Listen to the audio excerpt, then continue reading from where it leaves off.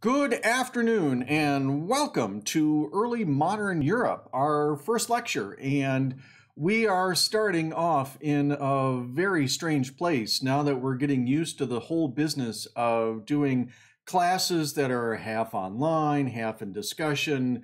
Um, we may never actually see each other other than through um, our Zoom meetings or anything else like that. So, welcome. I'm glad that you're a part of our class. I'm glad that we are going to be exploring what is a fascinating period of time in European history. A couple of housekeeping things just to get started. Please do look through the syllabus, read through it. If you've got any questions, please don't hesitate to get a hold of me. Um, the best way to do that is through my regular UDM um, email. So if you've got questions, let me know. Likewise, once you've looked at the syllabus, um, seeing what you need to do, make sure that you get the books that are required for this class. Those are particularly important. In fact, it's kind of tough to do it without. Um, and then go ahead and look at our discussion thread that is going on on Blackboard right now. So those are some basic housekeeping chores for us to do. Um, make sure that you are checking your email regularly because so much of our stuff is going to be coming through that. So make sure that that all takes place. All right. Um, a very brief introduction. My name is Dr. Ken Grant. I have been teaching at the De University of Detroit Mercy for five years now. Heavens. Um, and before that, I was a history and religious studies professor at the University of Texas Pan American, now named the University of Texas Rio Grande Valley. Um, I have been doing this for quite some time and I love teaching these classes. And so I'm glad that you're along with us for this particular journey. Interesting about this particular class is that its very title speaks to the fact that it's kind of a strange beast, right? Early modern Europe. Those three words really kind of make us scratch our head because it's very qualified, right? And so, what I want to do today, what I want to do in this lecture today, is I want to talk about those three words we need to be able to define those words so that the rest of the term makes some kind of sense. And you're thinking, okay, early modern Europe, I got that from the course title.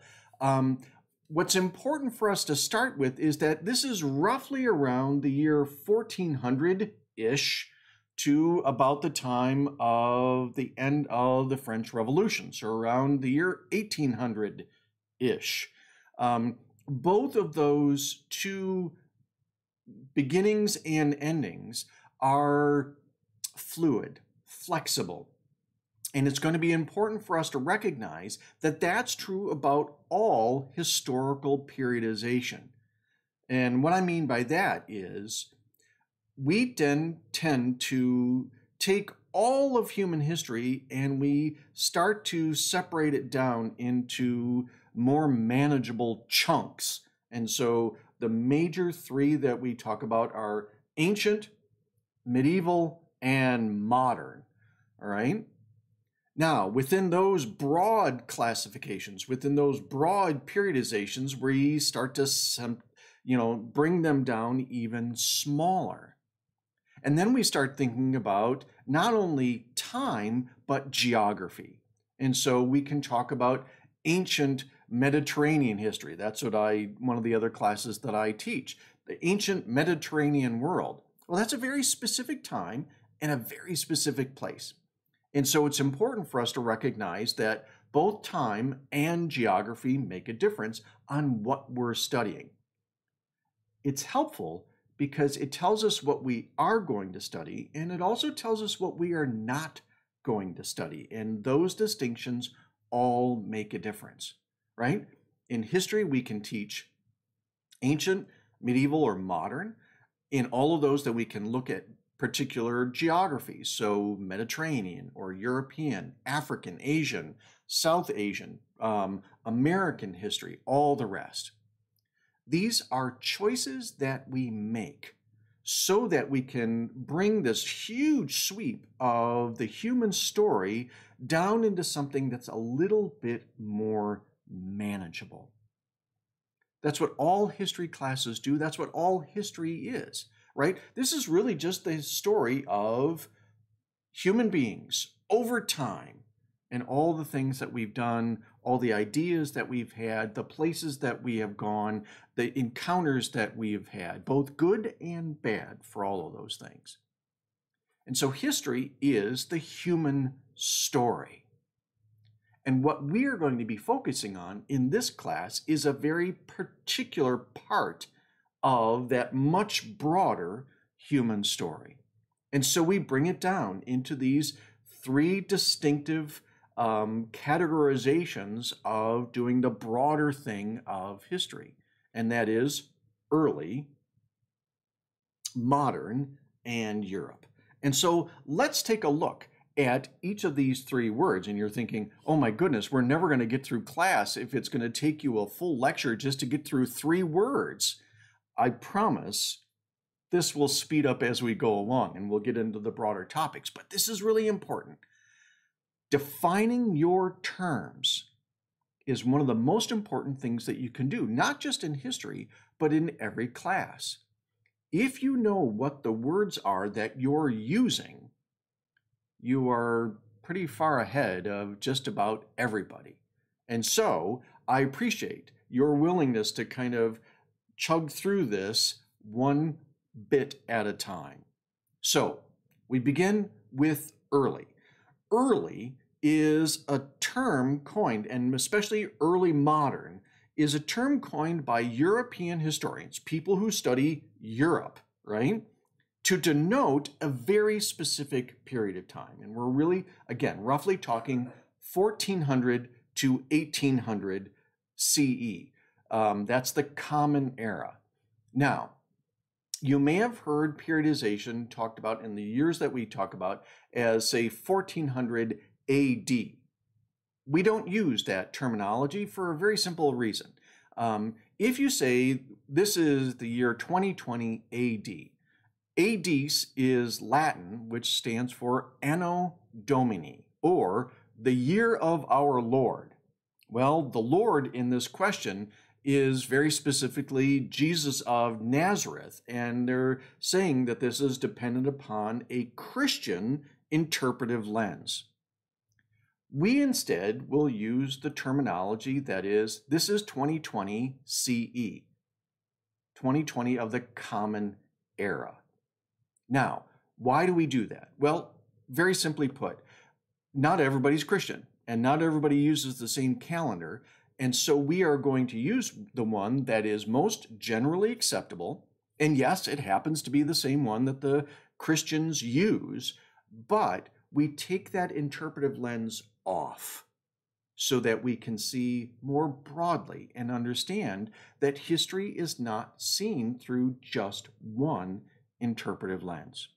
There are many of them, and each one of us has a series of interpretive lenses through which we see history and interpret history. But if we can take off some of those lenses, it benefits all of our explorations. So, between 1400 CE and 1800 CE, that's generally understood to be the early modern period. Now, we use the word early because early implies that it is a time of transition. Early means that we're going from something old into something not as, right? And so it implies movement. It implies a time of transition. It implies that European history has changed at that particular moment in a way that is unique, new, innovative, different, right? All history is an exploration of change and continuity.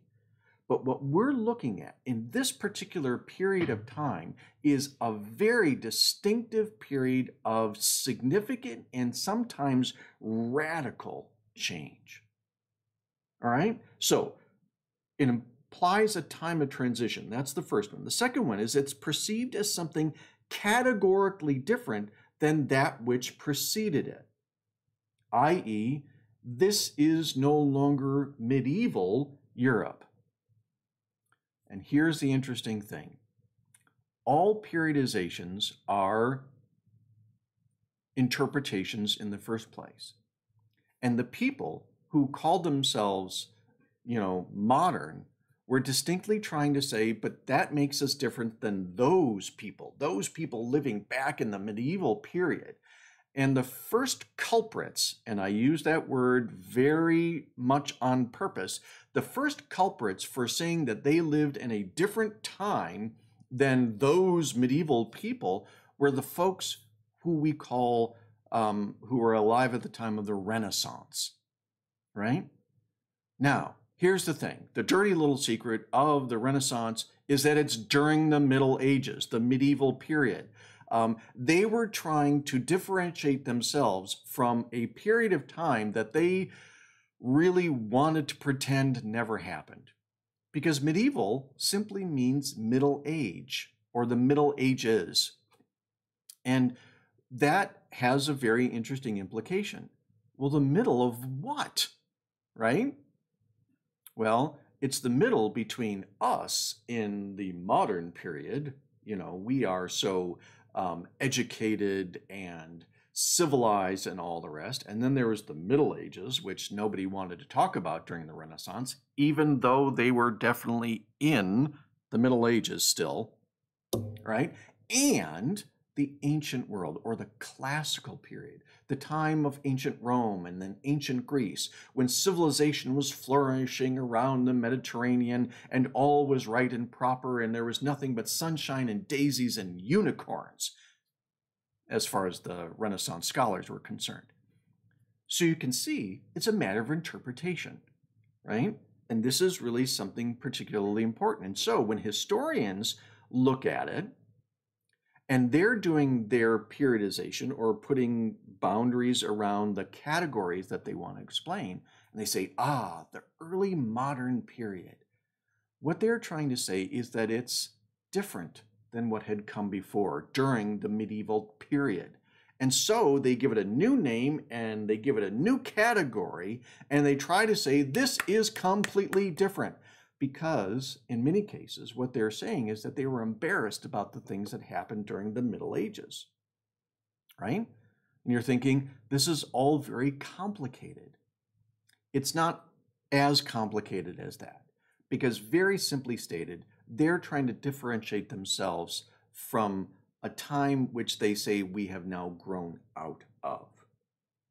And so historians and the kind of professional historians that we're thinking about, the ones who are evidence based and using kind of a scientific method for getting to the information by looking at sources and being critical of all of this kind of stuff. Um, by means they're they're really looking at the text, they're being very careful about context and setting and language used and all that other kind of good stuff. That really didn't start until about the 19th century. That's when um, what we would call scientific historical inquiry really began. And the last thing they wanted to do was to say that they were like the people back there in the Middle Ages, right? And so they start coming up with these periodizations. And the first one they come up with, well, there's the ancient world, right? And then there's the medieval world, which we're no longer a part of, and then the modern world. Well, once you start looking at the modern, the farther you get away from whatever that modern period supposedly starts, you're going to have to put those into smaller categorizations too. And so we get early. Okay? And you're thinking, holy cow, Dr. Grant, I mean, honestly, you just spent 10 minutes on one word. That seems excessive may feel excessive, but I really want you to see that we've got to be careful and we want to unpack these things because we're going to be handling some pretty heavy topics, right? We're going to be talking about revolution. We're going to be talking about technological innovation. We're going to be talking about the birth of European racism against other parts of the world. And so, yeah, we have to be careful. We want to be specific and we need to be able to define our terms. And that starts right now. And so while this may seem excessive, it's necessary, right? And so I want you to kind of wrap your brains around how important these terms actually are. All right, so that's early, right?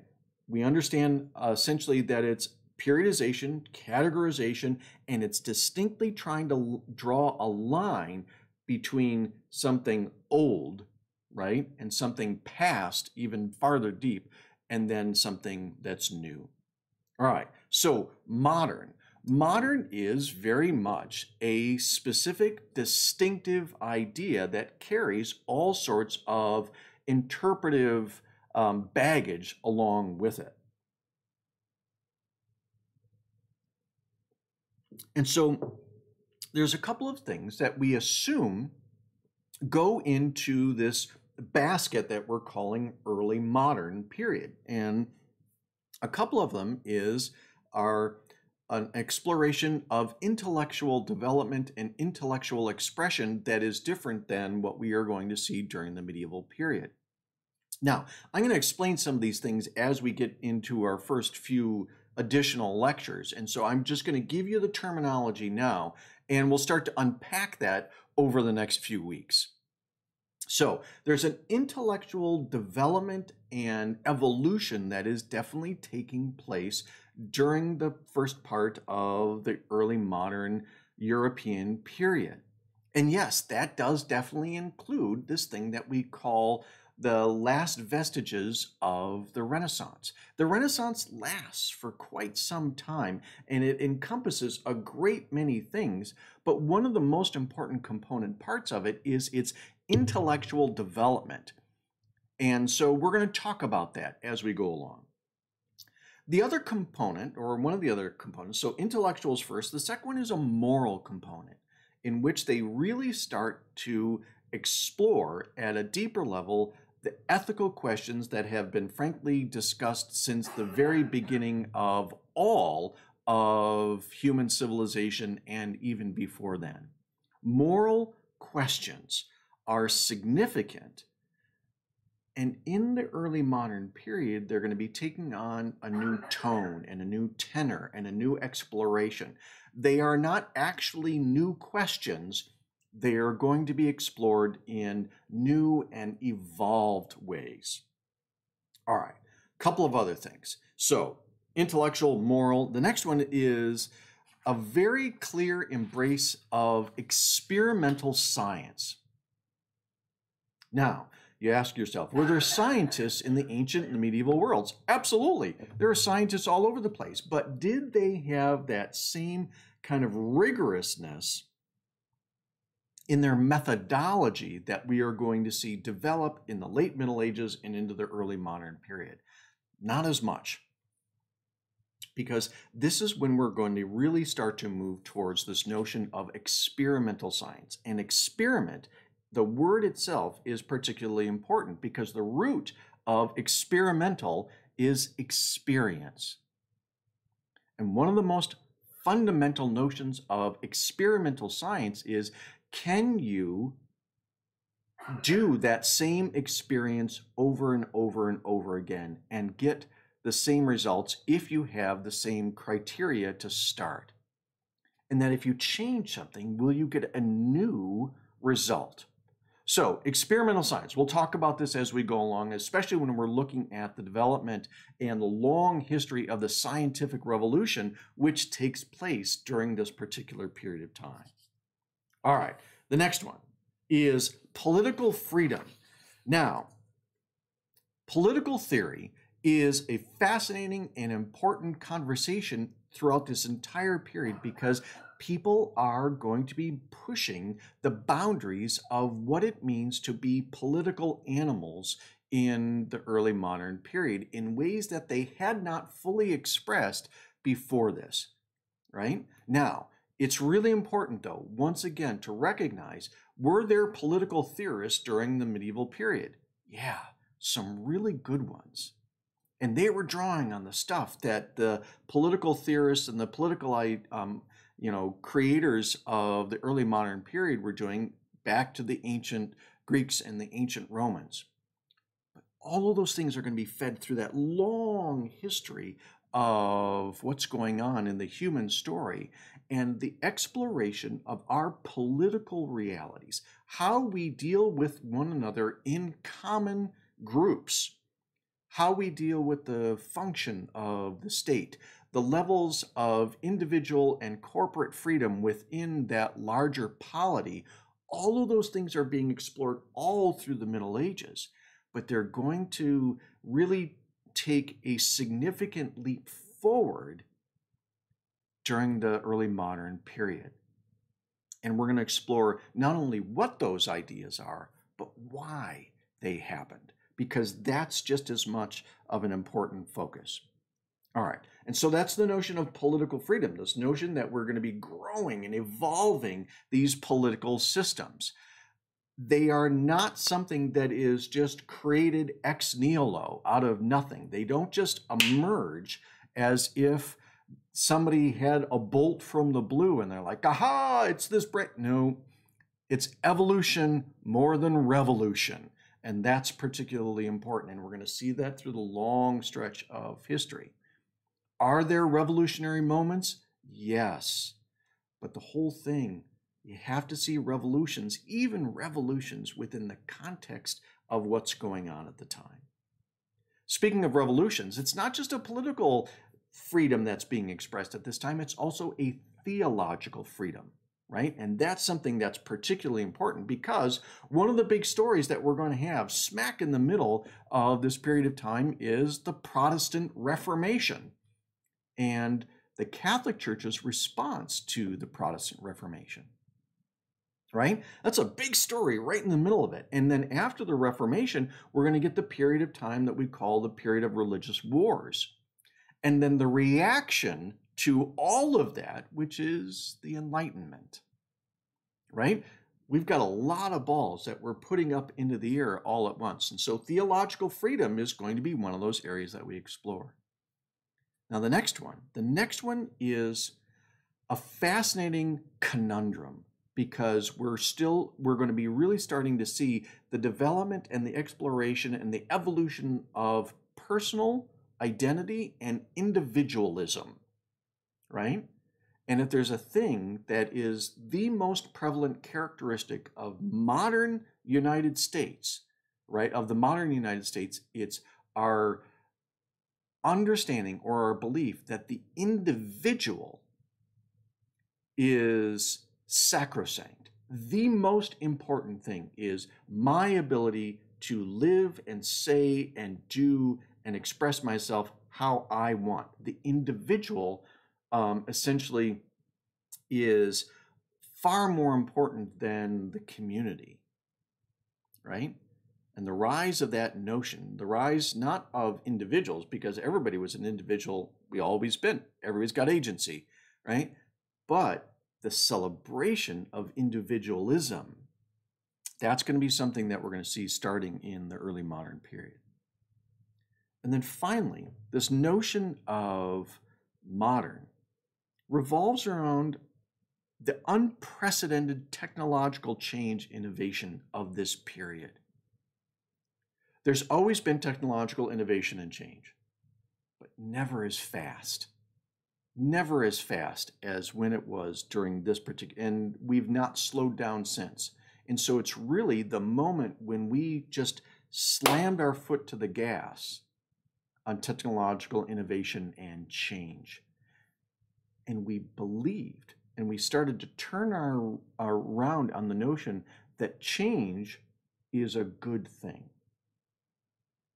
Because in the medieval period and in the ancient world, change was always something to be leery of, suspicious, maybe even a little bit, because change meant differences.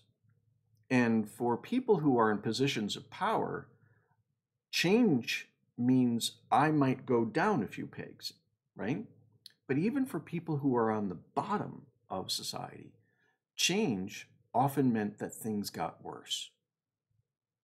And so in the early modern period, we're going to start to start we're going to start thinking about change as a positive thing.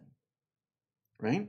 if things are going to get different, then they could change for the good, for the betterment of all of us, right? But in order to make that case, you have to show that change actually is a good thing, that it is a positive thing. And that's going to take some doing, right? Because most people, they're like, well, at least this is the devil I know. And if you change things, well, then I don't, I have no idea what's going to happen. But people assumed if it was going to change, it wasn't going to get better. Because as far as they were concerned, it didn't. Things didn't get better, right? When they changed, they got worse. They either lost more power or more land um, or voice or life itself. So, those are some things. Now, we've got a couple other um, components that we need to talk about, and that is there's a functionalist sociological definition of modern. Functional sociology, um, it's one of two perspectives of macro sociology. And you're thinking, uh, Dr. Grant, this is a history class. Why are we talking about sociological terms? Very simply put, history is the most interdisciplinary um, discipline on the college campus. Period. We have to talk about everything, right? We're going to talk about science, we're going to talk about theology, we're going to talk about history, we're going to talk about mathematics, we're going to talk about sociology, we're going to be talking about art, we're going to be talking about all these other kinds of things. There's not a discipline uh, in the college on the, on a college campus that historians don't need to explore at some point in time, right? Because we're talking about the human story. How can we not talk about all these other disciplines? And so history, by its very nature, is interdisciplinary, right? Which is why it's good that we're not all history majors in this class. It's why it's good that non history majors are forced into taking history classes because every person in this class, regardless of what your major is, you've got an entry point into this period of time by your major or by your interests. That's just the way that works. All right. So I need to talk about this functionalist sociological definition of modern because it helps uh, shape things a little bit. So the functionalist perspective of macro sociology is that it views society as composed of different parts working together. You're thinking, well, that just sounds like life, Dr. Grant. Well, that's what sociologists do. They look at how our life works and how it all hangs together. And so think of society as composed of different parts, different things working together. And that's that working together that makes the functionalist perspective. Whenever you hear about these various groups or various parts of society or various things working together, that's a functionalist approach to sociology. Now, in contrast, there's the conflict perspective, right? The conflict um, sociological approach, and that is it views society as composed of different groups and interests that are competing for power and resources. So the functionalist approach says we're trying to figure out how these things work together. The conflict perspective says um, how do these different groups compete for power and resources? Okay, um, I tend to be a functionalist, not a conflict perspective. And so the functionalist approach for me is, I think, um, well, it sits more within the way in which I interpret um, history and the world itself. And so, from the functionalist approach of sociology, there are some things very specific about the early modern period that are particularly important for us to kind of get into our heads as we get started.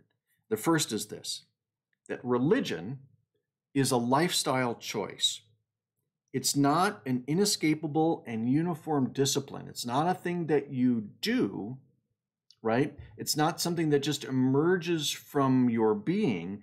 It's something that you choose to participate in right? And it's the difference in many ways between most indigenous religions, which you could almost call medieval religion, um, which is an amalgamation of Christianity and a lot of other um, local religions. Um, there's no such thing as something that's purely a religious experience, right?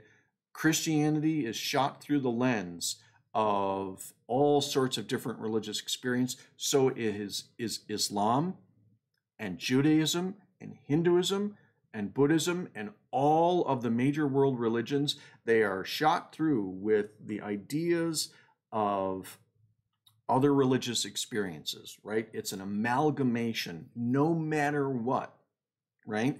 Um, but in the modern world, that religious um, expression and articulation is not something that is just simply born from the things that everybody does, but it is decisions that have been made about how we are going to live. And religion becomes one of those choices that we then inhabit and embody. But make no mistake, that was there was a decision somewhere in that in our, in our lives. All right, so that's one. Second one is that belief in science has supplanted belief in active spirits or miracles. It used to be that people looked at the world and they say, well, that's the that's the spiritual world at work. Those are the powers and all the rest. And that when things happen dramatically, those are miracles, right? There is a supernatural explanation. In the early modern period, we're really moving to away from that notion and towards a notion that science has all the answers. Now, the interesting thing is that science does become, in many ways, a faith system right? How many people can actually explore effectively how things work scientifically? We appeal to that all the time. Well, that's just science. But do you know how it works? If you had to, right? Could you tell me how my cell phone works? Right? In detail. Could you fix it if it broke? If not, if you can't explain it, if you don't know the scientific understanding behind it, right? It's a magic box. That's all it is. So is this computer, right? It's a magic box. I turn it on, I ask it to do things, and lo and behold, it does what I want. Right? many people have gotten to the point where they simply assume that these things happen will be well science it explains it right that's an important thing science as a belief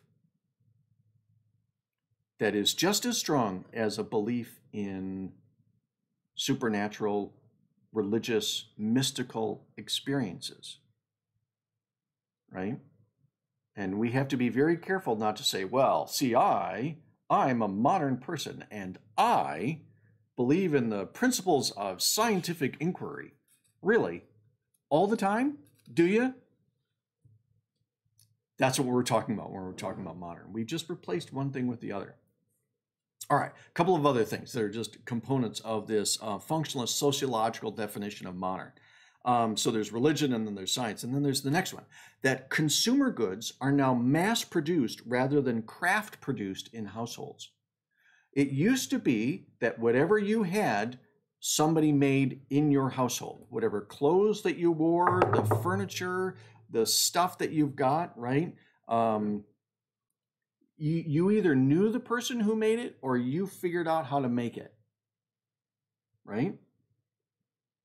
And that's everything, including all the food that you ate from, you know, from beginning to end, from birth of an animal to the time when you butcher it and you put it on the table, and then you use all the other stuff.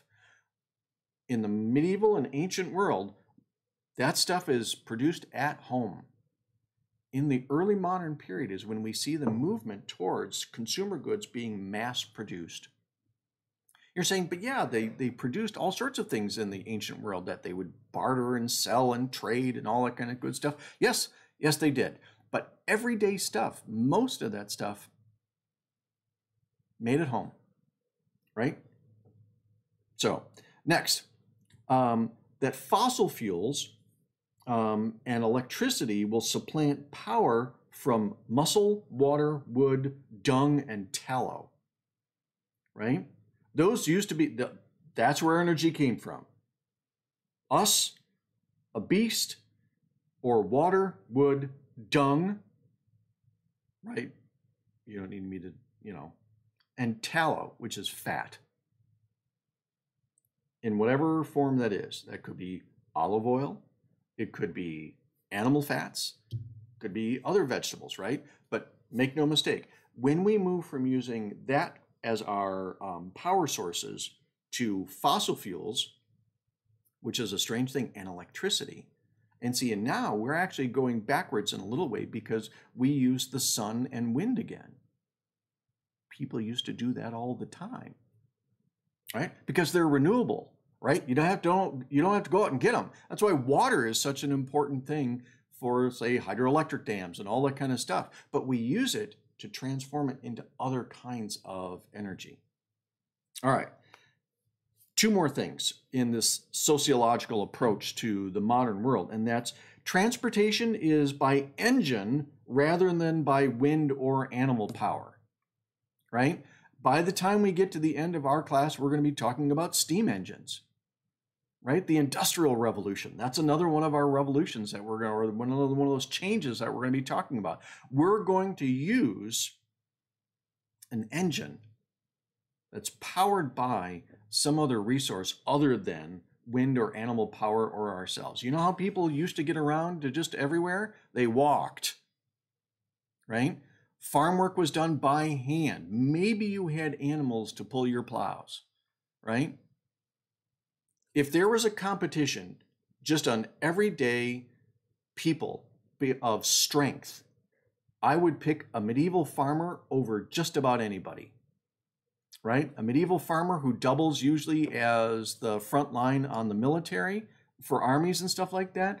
That person, right, is going to have greater strength than you or I, even after however many days or weeks or years of working out in the gym. Just the way it is. All right, last one. Government is designed by human beings to meet perceived needs rather than accepted as sanctioned by immemorial tradition. Let me say that one again. Government is designed by human beings to meet the needs of the community rather than something that's simply handed down from on high because tradition says that's the way we do it. Right? we're going to move away from monarchy that is based on divinity. Why are you king? Well, because God said I'm king. And that's all you get. That's not the way we work. And that's going to be one of those big changes that we're going to be exploring as well.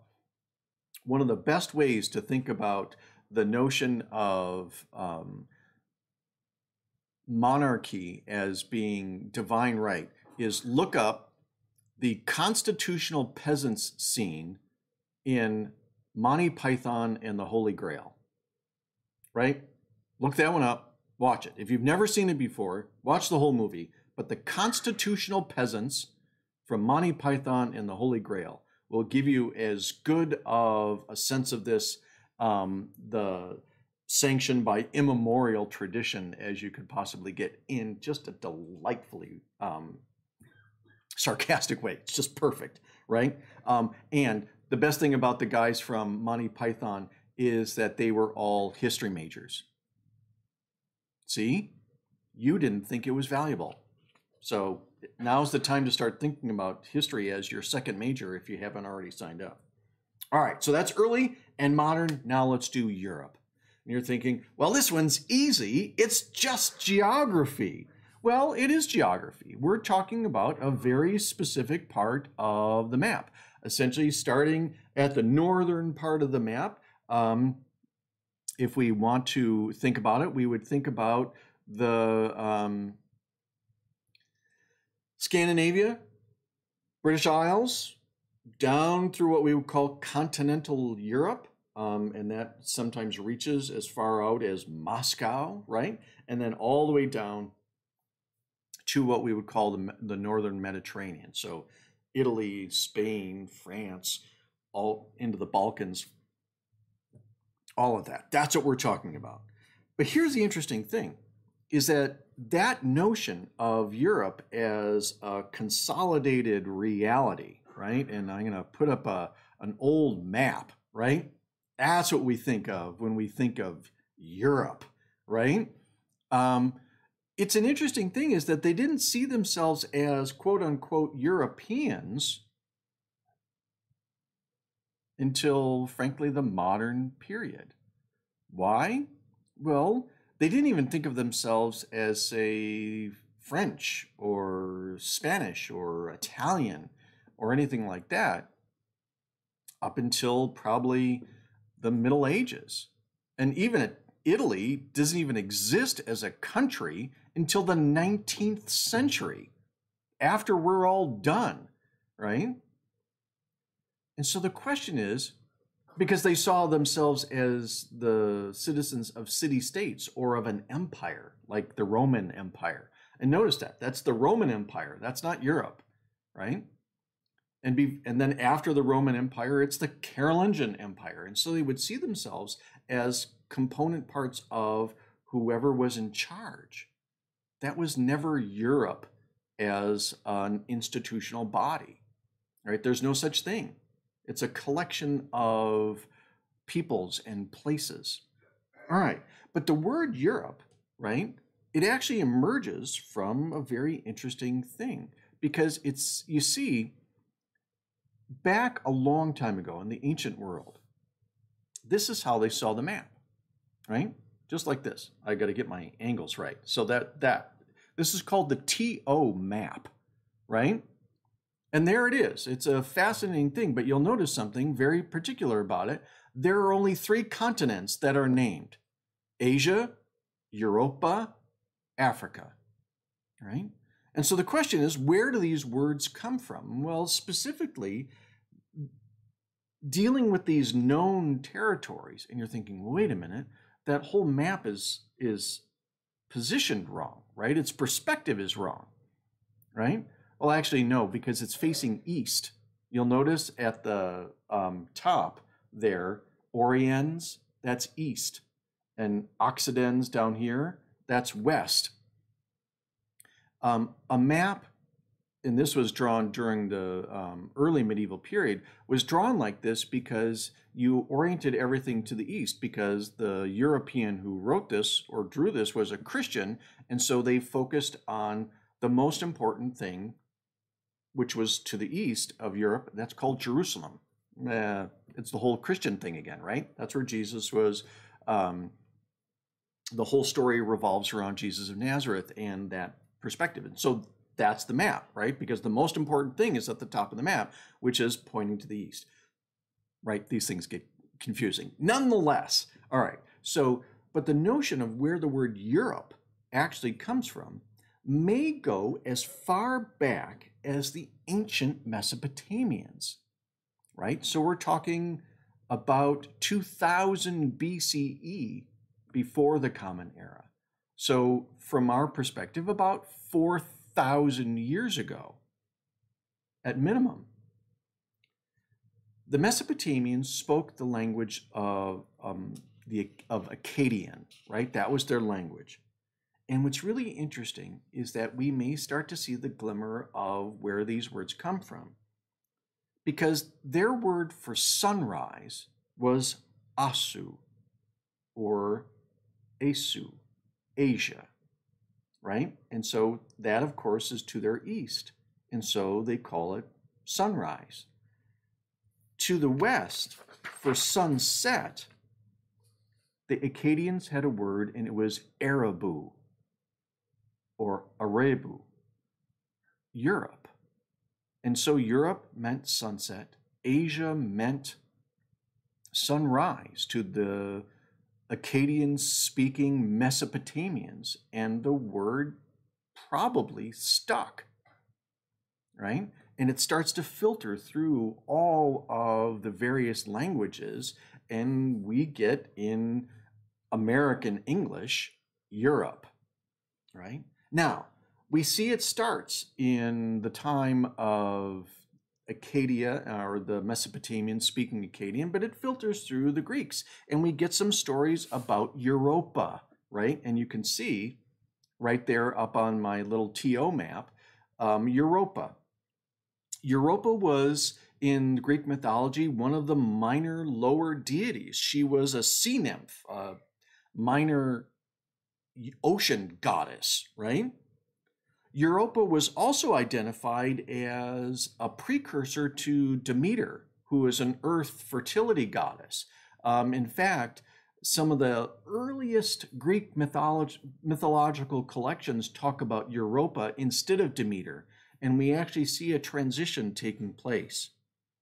One of the most well known stories of the goddess Europa or the person Europa Europa was the daughter of King Agenor of Phoenicia, right? And she was young and beautiful, as always these stories go. And Zeus, right, the rather caddish um, head of Mount Olympus and the Olympian gods, um, he saw her and she caught his fancy and so he wanted to spirit her away and she, he knew that he was going to have to do this in a very creative fashion because she was also highly suspicious of the gods which was really good thinking because you didn't really want the gods messing around personally in your lives. It didn't usually mean that good things were going to happen. And so he turned himself, transformed himself into a beautiful white bull, right? Right?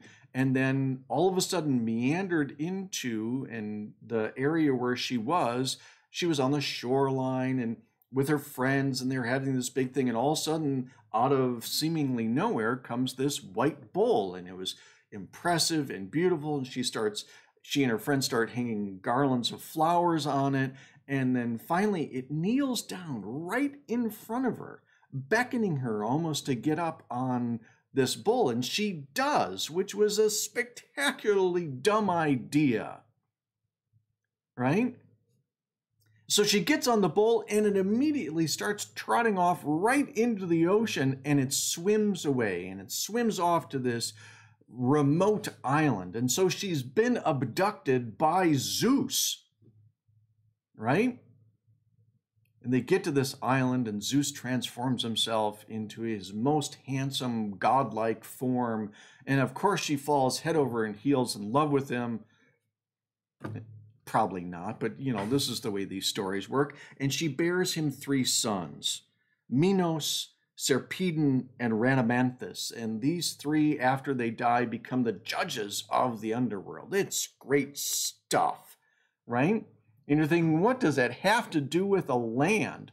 Nothing. It's just a word that was used to name these various goddesses, and it's stuck. Right? Because of essentially where she was from, which was far and away off to the north and to the west. And so Europe is simply, well, this, right? This thing that we see, these collection of peoples and then later nations. And the reason we call it early modern Europe is because we're confining ourselves to dealing with these people, right? I got to get my perspectives all set up, right? We're dealing with the people from those places and their experiences and their um, encounters with the broader world. And so that's why we're looking at this. So, why do we call this class early modern Europe? Well, because those are the three components of the things that give us the categorization to give us a nice bite sized chunk of history to deal with. And we are going to be talking about some spectacularly important things. We're going to be starting off with the age of exploration and exploitation, when those people start to see a much broader world and how they're going to encounter it and how they're going to react to it. Um, long story short, not all of it's very good, right? But we're also going to be looking at things like the Renaissance and the Reformation, the scientific revolution, the industrial revolution. We're going to be looking at various reformations of state and church. We're going to be looking at the reactions to some of these major events like the Enlightenment. And yeah, we're going to be talking about the building of some interesting national narratives of the English Revolution. And yes, we will end this whole semester with the French Revolution. And shot through the whole thing, we're going to be looking at the way in which society was changing just like that. Because all of a sudden, one of the most important things about this time period is that for these people, the world's going to get a lot bigger. Almost overnight, the world's going to get a lot bigger. I mean, honestly, we're going to start with this when they thought that there were only three continents. By the time we are said and done, they will know about all seven of them. Right? They will have circumnavigated the globe before we even get halfway through this class. Things are going to change. And we're going to focus on that sense of change and continuity. How do things evolve and what actually spins into what we would call a revolution? So we're going to be focusing on the things that are same, the things that are different, and by compartmentalizing, by categorizing as we have done, we're going to give ourselves the golden opportunity to actually wrap our brains around all of this. And then, and then, and this is the most important thing, everything that we study then has an impact on how we look at the world. We are the children of the early modern period. We are the children of the scientific revolution. We are the children of the Enlightenment. We are the children of all these political and religious revolutions. We are the children of technological change and innovation. We are the children of a world that is sped up beyond our imaginings. And we are the children living through a pandemic, just like they did, time and time and time again. And there's not a pandemic that does not change the world and the way people look at it. We are living through one of those things that happened a lot during the early modern period. And we have to ask ourselves what's going to happen to us? How are we going to be changed? What evolution will we see? What revolutions will we see because of what we are living through right now? And we're not going to know right off the bat. We're not going to be able to even see it until years later, maybe even decades. We live in a time of change. Technology, politics, religion, science, medicine, philosophy, sociology, history. So buckle up. This is going to be a spectacular semester. I am looking forward to everything that we are going to do. I look forward to your questions. Write them down when you're looking at the videos, you know, looking at my lectures, when we're having our conversations, bring questions because I am going to be able to do so much more for you when you ask questions. So don't be shy, right? Write them down. And we will go oftentimes in our discussions where those questions lead us. Keep up with your reading. Um, there's a lot that you're going to be looking at. Um, the textbook is, it's a textbook, but it's going to fill in a lot of gaps. Think of it as a complementary piece to these lectures and to our discussions. And everything else that we read is going to help us flesh out this period of time. And we're going to go from something that feels like it could be just very two dimensional and flat into something that looks a lot like, well, life, our lives. And we're going to look at the things that have changed. And we're going to look at the things that are the same. And we're going to realize that this is just a chapter of the long human story. I can't wait to see what happens next.